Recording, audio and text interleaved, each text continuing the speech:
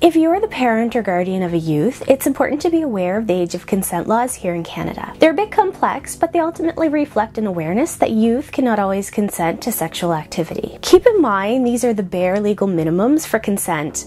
Families may have tougher rules, and that's up to you. The age of consent is 16. That doesn't mean youth under 16 can never engage in sexual activity, and it doesn't mean that folks over 16 can do everything under the sun. So let me explain it all out. 12 is the bare minimum legal age at which anyone can engage in partnered activities. So this doesn't mean that 12 year olds should be going out there having a lot of intercourse.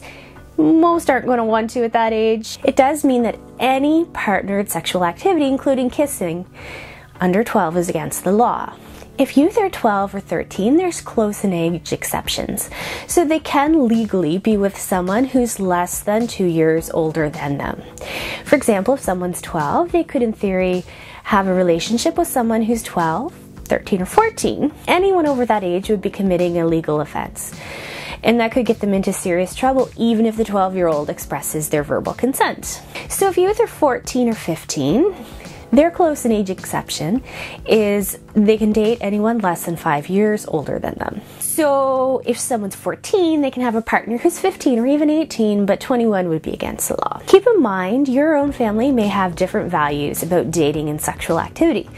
The law is in there to encourage folks to have sexual activity at a young age, so much as to prevent youth from being exploited by someone older than them. Once youth reach 16, which is the age of consent, it's really not a free for all quite yet. Until they're 18, they're not allowed to engage in any kind of activity that exploits them. People under 18 are also not allowed to be in a relationship with someone who's in a position of authority over them.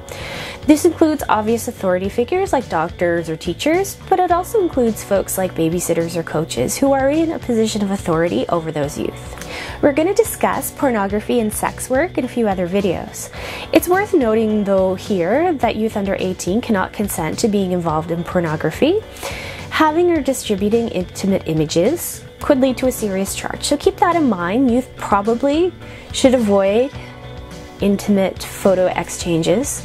And we're going to talk some more about harm reduction in regards to that in another video. So while these laws may seem a bit complicated, I have to remind people that healthy relationships are often between two equals. The laws reflect that unequal ages or authority may result in non consensual relationships for youth. And again, these laws are here even if the younger person verbally agrees to it. So that's not an excuse according to the law. So share these bare legal minimums with your youth, but also talk to your child about your family values and expectations. So your family may have rules that differ from the criminal code as far as, you know, you may not want your youth dating until they're 16. So talk to your youth about those rules. So, what do you do if someone's in trouble? You can talk to Child Protection or your local police services to find out some more about reporting it. And they can also offer you some more information on this really important topic. So remember, talk to the youth in your family about these legal expectations as well as your own family values. We all have a role to play in promoting healthy relationships among you.